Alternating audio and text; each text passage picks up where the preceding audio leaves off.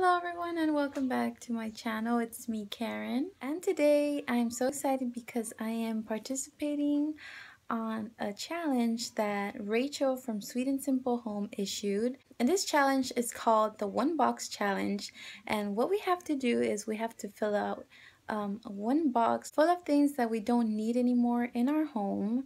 And for me, um, my target was my daughter's room, their closet. So their closet right now is a hot mess. I mean, they have so many toys, so many clothes, and they have so many items that I never want to get rid of because they have sentimental values to me. So this inspired me to go ahead and tackle all of those um, things that I need to do in their closet. I'm slowly but surely um, organizing it more and making it look nicer. So let me go ahead and show you guys what I got out of their closet.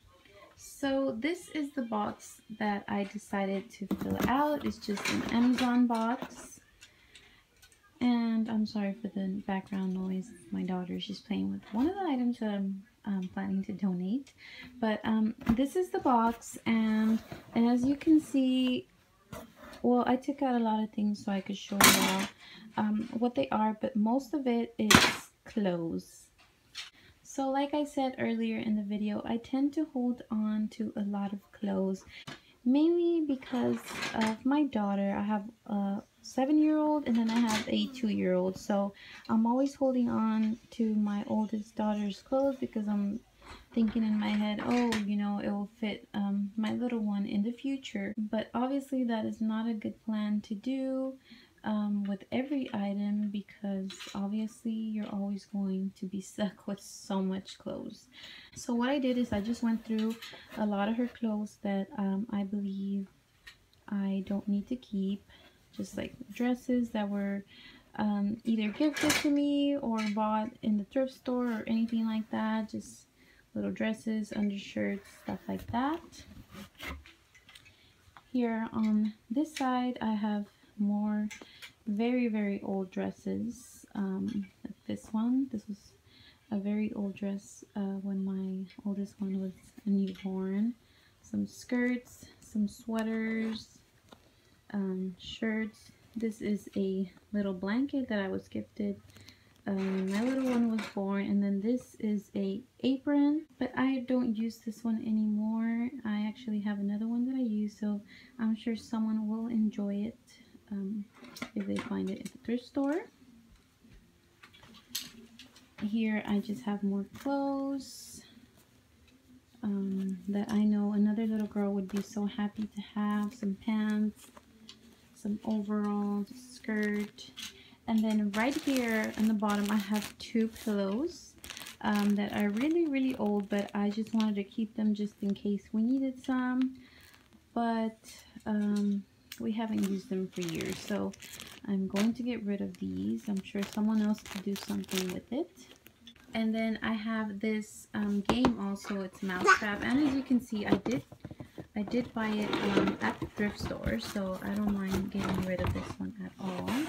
And my little one is playing with it, but um, I need to take it away from her before she starts losing pieces.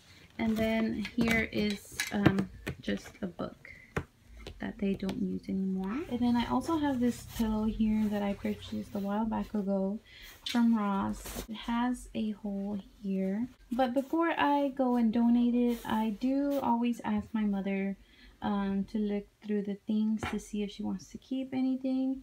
Obviously, for this, she's not going to keep um, any clothes. But for household items, I always ask her for because I know um, sometimes we have the same taste in things so she likes to keep um, some items. And I did just recently give her a waffle maker because we have one and someone actually um, gifted my husband another one so I gave that one to her just yesterday.